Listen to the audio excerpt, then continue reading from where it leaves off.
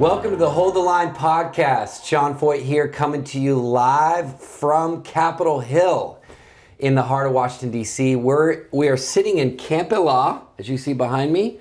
Uh, this entire place is a miracle. Uh, I don't have, I won't go into it now, but God's fingerprints are all over what He's done here on Capitol Hill, how we have this little sliver of real estate. And what I want to share with you today, I have an amazing guest, Thomas Teeple.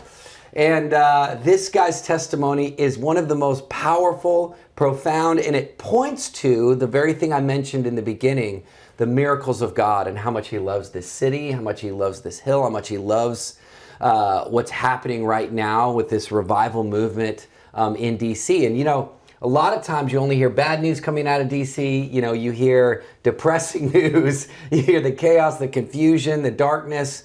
Uh, but today, you're going to hear some hope. And uh, so, first of all, Thomas, welcome. Thank you for having me. I'm, I'm so pumped you're here. One of the other reasons uh, I'm excited that Thomas is coming to us live today is because he actually helps steward what God is doing here in Camp Elah. And uh, he's based here in DC. Uh, he works in government. He's amazing. Uh, God has this incredible calling on his life. But that's not where it started. So, share with us a little bit of your journey a couple years ago. What happened? How did you end up here? What God is doing here? Let's start from the beginning. All right. Well, really, it started at the Washington D.C. The first Let Us Worship in Washington Yeah. D.C. and 2020. 2020, Yeah. and I went there being a weed addict, sleeping around. And how old were you then? I was 20. Okay. Yeah. So I mean, I was just doing everything but following Jesus. Yeah. and we showed up and i remember watching rain fall down on top of this huge worship rally and a couple minutes go by and i realized that not a single drop had touched me and so that's when it clicked for me that wow god is real wow, he is still moving in a corporate setting That that was one of the craziest things. Yeah. I mean, we were all seeing the rain. I mean, I got pictures and video of it, and and it was coming down, but not, no one was getting wet. It was just anyway, wild. Yeah. Okay, so that was the moment. and so that clicked something in me and it really started this hunger in me and so next thing you know y'all are at west palm beach in 2021 yeah. and y'all had been there i think four days by this by this Okay. time maybe maybe six days and We you- st- we we launched the Let Us Worship uh, revival rally in a Hispanic church parking lot. The height of COVID, like everything was shut down. We were actually getting fined every day. I think a couple thousand dollars every day for doing this. The city of Palm Beach was fining us, um, and we never planned to go extended meetings. We only do one-off events. We go to another city. The power of God was so strong uh, and it was undeniable to all of us. We were like, "There's more here. We got to go another day." So we ended up going for two weeks straight, every single day. Thousands of people, right, crying out to God. You came in day four. yep Yeah. so praise the lord for y'all's obedience but uh, my dad asked me if i wanted to go to west palm beach and so we went and this is when i was still i had this you know revelation that the lord was real but i didn't have this personal relationship with jesus and i just remember being there and i had fasted two days not knowing what fasting was going to do for me i just heard that if you get yourself really hungry and the physical maybe you can transfer it to the spirit and something will happen uh, but i had no biblical background for that, no, no biblical knowledge for that. So I, I just was like, I'm going to get myself as hungry as possible for this moment. Next thing you know, you pull up my dad and our family up on stage to pray for us and honor him. And I just remember being up there in front of thousands of people, and the a thought went through my mind of, man, when am I going to get down? I don't like being in front of this many people. people are praying over me. This is crazy. And then all of a sudden, the Holy Spirit just hit me Wow. struck me like a lightning bolt from the top of my head to the bottom of my feet and it just felt like everything in my soul was illuminated Wow. it just felt like the love of god wrapped me up so tightly and i heard him say i love you you are my son i love Wow. you you are my son and i just felt everything break off of me Wow. absolute freedom i just cried out i love you i'm so sorry i love you i'm so sorry and i cried out for what seemed to be like an hour and if you look at the footage all of the worship team came back on, up on stage and i was still like slain in the spirit. and then, like they had to like I basically looked around and they were like, "All right, time to get off stage." but Jay came up to me, he prayed for me and I got the gift of tongues and I didn't know what just happened. Yeah. I just know that I saw Jesus wow. and I heard his voice. Wow. And so from that point on, I mean, the, the chains of sexual immorality, the weed addiction, the vape addiction, everything was just broken off in the split second. Wow. And it started a worship movement down in Baton Rouge. And then by the grace of God, you know, I get an opportunity up here. And, And so that that so you were in college it, when this encounter happened. Yeah. Okay. and I left the fraternity and Yeah, everything. okay. It, it was just like blew my socks off. And then you went back to college, back to LSU. I did. And then started a worship. I thing. did. Yeah. What did all your friends think? It, they did not understand. They had no idea. I kept telling them something happened, something happened. They're like, okay, okay, here, smoke Yeah. this weed. I was like, no, I mean, I, I can't. I Wow. know I know what I saw. I know what I felt. Right. You know, and I'm not at the mercy of someone with an argument. Right. You know, I have an experience. Right. And so started doing these worship nights on Thursday nights, which is when everyone goes out to the bars. Yeah. And so you can imagine I lost a lot of friends in Yeah. that season, just very lonely, but the Lord was so generous and just continuing Wow. to put people around me. Wow. It was incredible. and so uh, I, this one of the reasons I love this story. and We're going to get to how you ended up here. Um, a lot of people see the altar calls. They see, uh, you know, the emotions. They see people crying. They see people out on the floor. They see, and they don't realize that every single one of those people are having a life transformation moment. They're having an encounter with God, and we have thousands of stories like this. And what happens nowadays is people get so dismissive because maybe they haven't had that kind of encounter. So they get dismissive. They think it's all hype. They think it's all emotion. I'm like, no, no. God is changing lives, right? Yours is an example. Like He's doing this. He wants to do this, and this is why we we we give everything that we can to set up these kind of encounters so that people can get wrecked by the love of God because it translates into lives being changed forever, you know, and, and you were marked in that moment forever. I mean, it's like what, what what's interesting. I go back, I thinking about the warfare just to get that parking lot at the height of COVID to want to worship, not knowing if anyone's going to come, not know most pastors are hard to rally because they were didn't want to be in trouble. And and we're getting fined by the city and we're getting slandered online, but yet the fruit of the perseverance to press into God's presence is lives that are transformed. So I mean that eh, I know it ministers to me, mm. you know, so much hearing that story.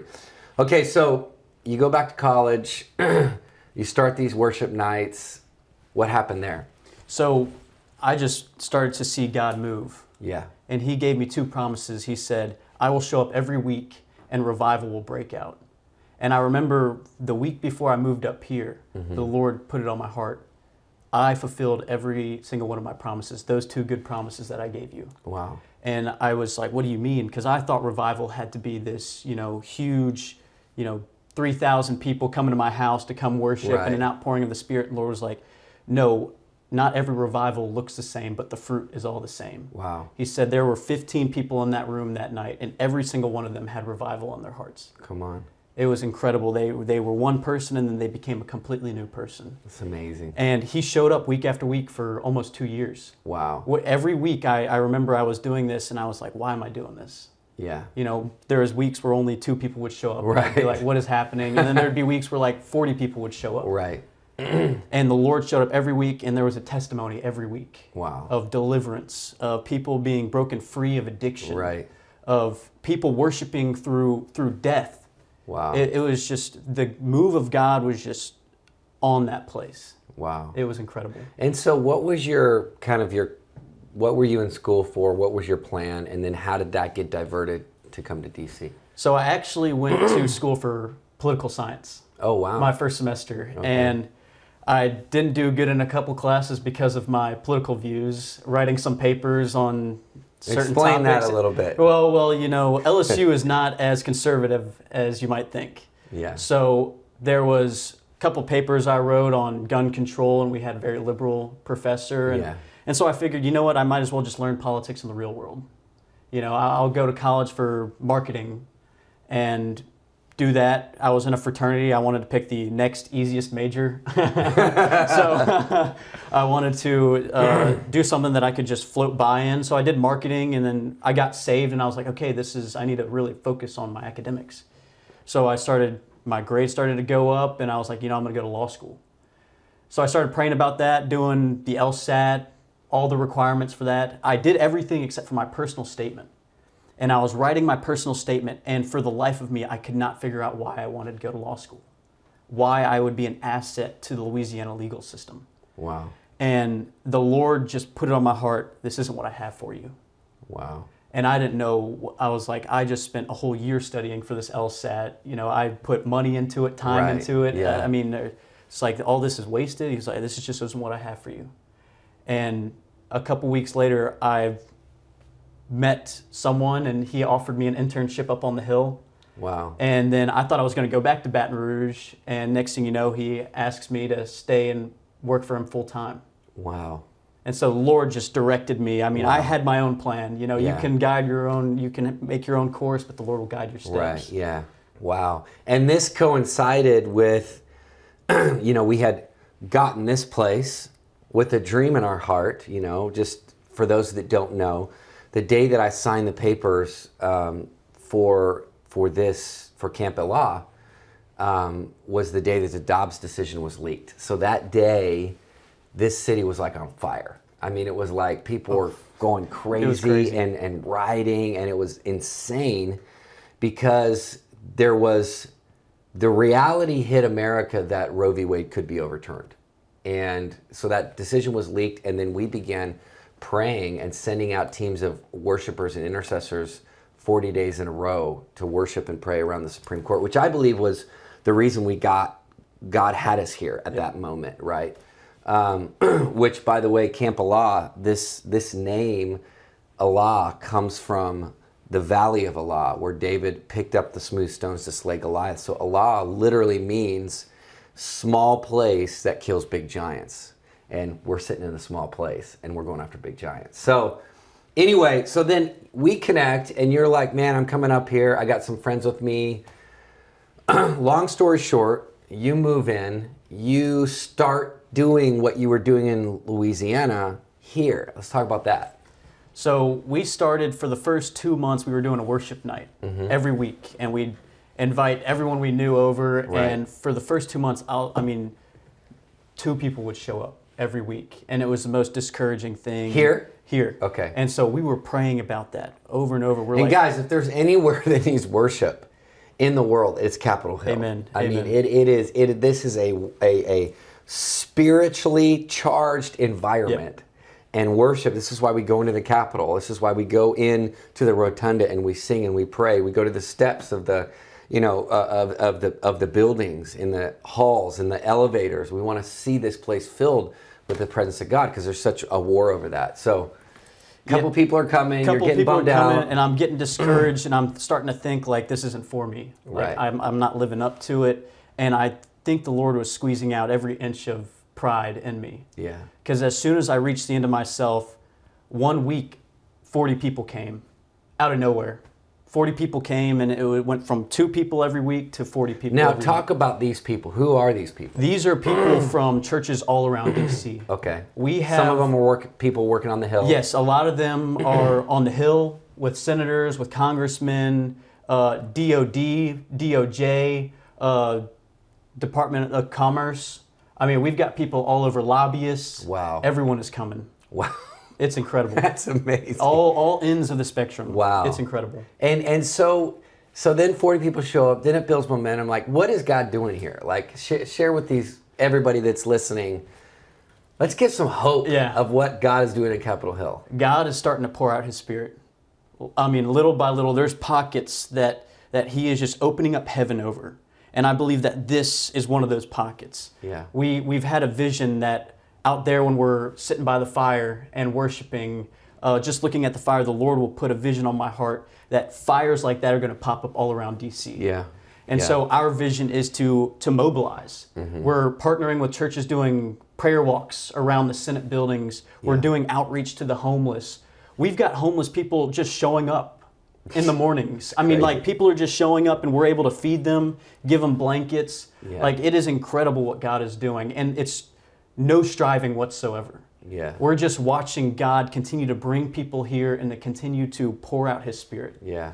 And so we are really praying for more worshipers to come here Yeah. to lead worship. We want to do prayer marches Yeah. around this capital. I mean, just like marching around the walls of Jericho. Yeah. We want to be able to do that once a week, Come on. once a month. Yeah. However, the Lord wants to do it. Right. We just want to continue to submit to His will, and, Yeah. and He is doing incredible things. And it's just, I mean, out of nowhere, boom, Wow. taking off. And and th- this is what's so encouraging. It's like th- these these folks. We were here last night worshiping. This whole place. I mean, this is not a big place, right? This is DC. was slam packed with people pressing into worshiping God. And I had my guitar out and we were just doing just like really what how I grew up leading worship in a house full of people singing to Jesus. And the hunger and the people pressing it was like you you reach these places where it literally is a dry and thirsty land and people just want to drink Yep. you know uh, of of of the presence of God. And so last night I mean, nobody wanted to leave. Everyone just wanted to hang out. It's a place of community. It's a place of hope.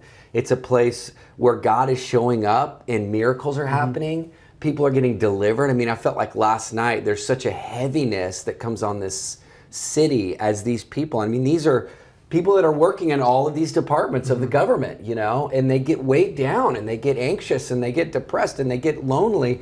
But they come into Elah and they remember why God sent them here. Yep. They remember, oh yeah, this is the brook where I pick up the stones. Like I am a giant slayer. That's why God sent me here, not to just end up in this system, you know, in, in this governmental system. But no, no, no, I am a revivalist. Mm-hmm. You know, share with me a little bit about maybe just some testimonies of what God's done here, how it's affected people on the hill. Yeah, so we've actually started sharing mm-hmm. testimonies every week. And one of the testimonies, this sweet girl came, and it was after I shared my testimony, and she was telling me that after she felt like she finally forgave God for taking her father. And I was like, Well, what do you mean? Explain that to me. She said, I was sitting there worshiping, and I felt like the Lord told me to put my two hands out, which is what her dad would tell her to do when he would come home from a trip to give her a gift. Yeah. And she put out her mm-hmm. hands and she heard the voice of the Lord say, I am your father. Mm-hmm. And she just began to weep Wow. and realized that she has a heavenly father Yeah. that meets every need that she wanted her past deceased physical father wow. to care for. So Wow. we have that. We have, like I said earlier, one morning we do a, a prayer every morning from six to six forty-five for revival in DC, Yeah. and we've got people gathering for that. This homeless guy just showed up. He said, "Hey, I heard that y'all are worshiping here," and out of nowhere, I was just like, "Come on in." He ended up joining us for prayer, and he's my age and he's homeless. I mean, it's just terrible the the way that this city has put people in such terrible positions. Right. But we worshiped with him, we prayed with him, we were able to feed him, give him a blanket to go on his Wow. way. I mean, we've got people who are just falling out in the spirit in here. Joy is just being let loose in this Yeah, place. People yeah. are are getting drunk in the spirit. It's incredible the deliverance and the breakthrough that is happening. Yeah. It's so awesome. And, and then they're taking that joy and they're taking that breakthrough and they're going back into their jobs. Yeah. They're going back into the Senate building, into the House building. They're going back into the Capitol. They're going back in their different departments. And really, that's the dream. Um, you know, and what, what I want to do is just, uh, firstly, I want to thank so many of you out there that have been praying for DC, that have been praying for Camp Elah, uh, that have been journeying with us, those of you that have even donated to help make this place possible. We covet your prayers and your resources, and we're so grateful, even as we launch into this new year with crazy high expectations, you know, of what God can do. I mean, I don't, coming out of that meeting last night where this whole place was packed full, it was like, I wish every news camera in America, you know, could see and share. Of course, they won't, they don't want to share good news, but if they broadcasted to America that there's a group of revivalists that are gathering together every week and every morning and praying in people would feel a little more hopeful. You know, God is writing a story in this city, and the media might not be telling it. We're going to continue to tell it. This is why you got to share this podcast out there to everybody you know, everybody that's even political, and the, especially the grumpy political people. You know, they need to hear Yeah. this that God is writing a story. He's moving through young people like Thomas and his friends. It's happening in little places like this, like Camp Elah, and it's infecting, uh, you know, the offices of senators and Congress members. And after after we leave today, we're gonna have members of Congress in here. We're gonna be praying over them. We're gonna be ministering to them. Like this is this is what we're about in this season. So, any last words? And then I just want you to pray hope Yeah. over America from DC. Yeah, the, the image that keeps coming to my mind is this truly is a house where people are gathering and they're having their feet washed by Jesus. Wow. All the dirt of this world is is attract is coming onto us and Yeah. attaching itself to us. And this is a place where people get their feet cleaned.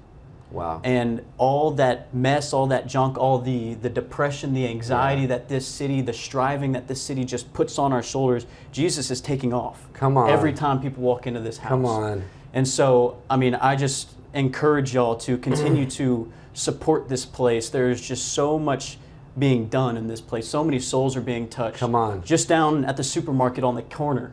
I mean, we are evangelizing to all those people, and they're showing up to worship nights now. Come on. I mean, it's just it's incredible what the Lord is doing. So I, we really appreciate your prayers and your support.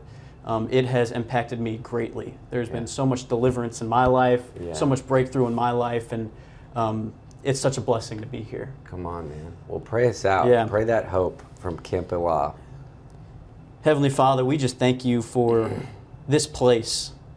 Lord, this place that is a costly sacrifice to you as 2 Samuel 24 24. As David, he offered up a costly sacrifice to you, and you moved in a new and in a new and an exciting way. Lord, we just believe that you are going to bring your fire down on this house. We just believe that this fire is not going to be contained to this building, but there's going to be fires that pop up all around DC in the name of Jesus. Lord, we just believe that your spirit is touching the corners of this, this nation's capital. Heavenly Father, I pray that you would raise up Davids, that you would raise up Gideons in this city, Lord, to, to be baptized in your spirit, to be baptized in Yeah. boldness, and to take your spirit into each and every corner of those Senate buildings, of those House buildings, of that capital, Lord. Would you continue to blow on the fires of our souls, Lord? I just pray that we would let everything be squeezed out of us in this season, God, that it would just all be about you. Would you allow us to reach the end of ourselves so that we can see your glory in this city? I pray that in the name of Jesus. Amen. Amen. Amen. This is amazing. Thank you guys so much. Again, Camp Elah, if you want to find out more information, you can go to holdtheline.live, holdtheline.live, or you can go to seanfeucht.com. You can find it there. We're going to be here every week, pressing in, and uh, be expectant for good news, more good news from DC to come. Yeah.